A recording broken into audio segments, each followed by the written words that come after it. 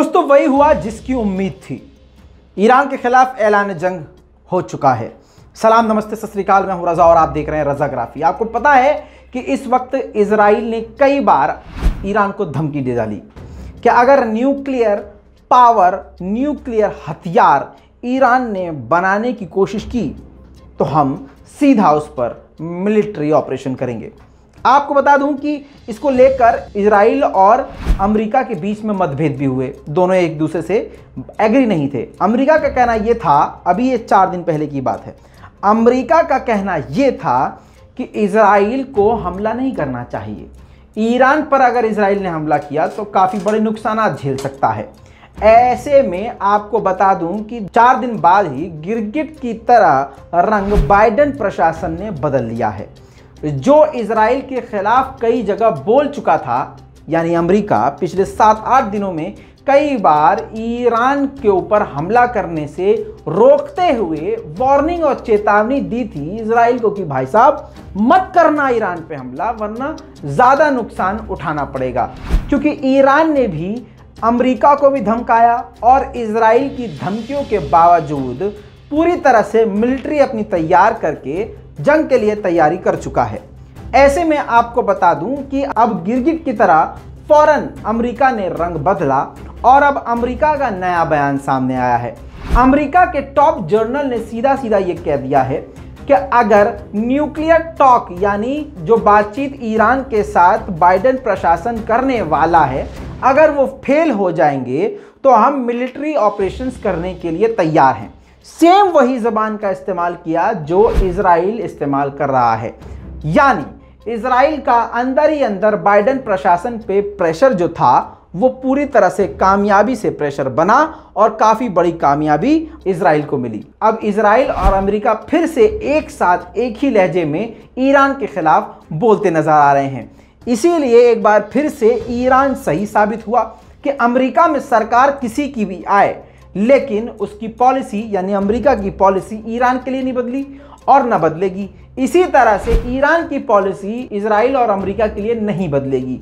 गद्दी पे कोई भी आए, लेकिन उनका एजेंडा वही रहेगा। इन दोनों का वही एजेंडा रहेगा ईरान के खिलाफ। लिहाजा ईरान की बात सही साबित हुई।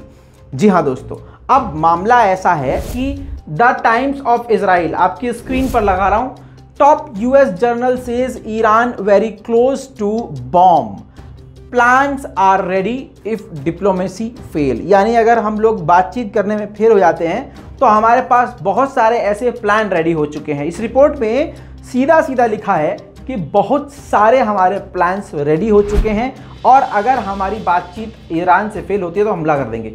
आपको बता दूँ कि इसी रिपोर्ट में यह भी बात की गई है कि आई यानी इंटरनेशनल एटॉमिक एनर्जी एजेंसी जो संस्था है, उसने अभी ईरान का दौरा करते हुए आकर क्लीन चिट ईरान को दी। उसके बावजूद इसराइल और अमेरिका को यह बात गले से सटकने में काफ़ी तकलीफ़ हो रही है। दोस्तों जेरोसलम पोस्ट पे भी ये मौजूद है। आप अपनी स्क्रीन पर देखिए। प्रूफ लगा रहा हूँ जेरूसलम पे भी इसराइल की दोनों बड़े बड़े अखबारों पे ये क्लियर रिपोर्ट आ चुकी है। इसराइल के अखबार में इस रिपोर्ट को जाना, इस बात की दलील है कि इसराइल ने ही अमेरिका पर प्रेशर बनाया था, जो कि उसमें इसराइल कामयाब हुआ। दोस्तों, इसके अलावा आपको एक बात और बता दूँ कि एक तरफ़ तो धमकी वाला लहजा है। दूसरी तरफ़ आपको बता दूँ कि अमरीकी टॉप जर्नल ने टाइम्स मैगजीन को इंटरव्यू देते हुए बड़ी बात कही।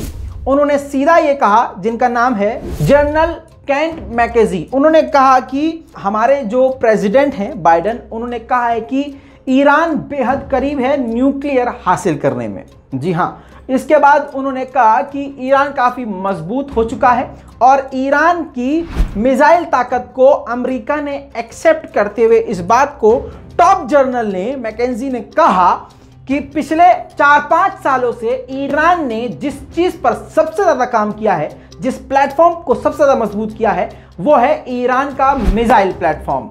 इसी वजह से ईरान की मिसाइलें काफ़ी मज़बूत हैं, काफ़ी अच्छी उनकी क्षमता है और उनका सामना करना काफ़ी खतरनाक भी है। आपको बता दूँ कि एक तरफ़ अमेरिका का यह बयान कि हम ईरान पर हमला करेंगे और अमेरिका के जनरल का एक तरफ़ यह भी कहना कि ईरान की मिसाइलें काफ़ी खतरनाक है। इस बात की दलील है कि ईरान, इसराइल और अमेरिका दोनों पर अभी से ही भारी पड़ रहा है। बहरहाल, इस पूरी रिपोर्ट पर दोस्तों आपकी क्या राय है अपनी राय कमेंट में लिखिएगा। दुनिया भर की बड़ी खबरें आसान जबान में हासिल करने के लिए रिपोर्ट को शेयर कीजिएगा। मैं हूँ रजा और आप देख रहे हैं रजा ग्राफी। जय हिंद।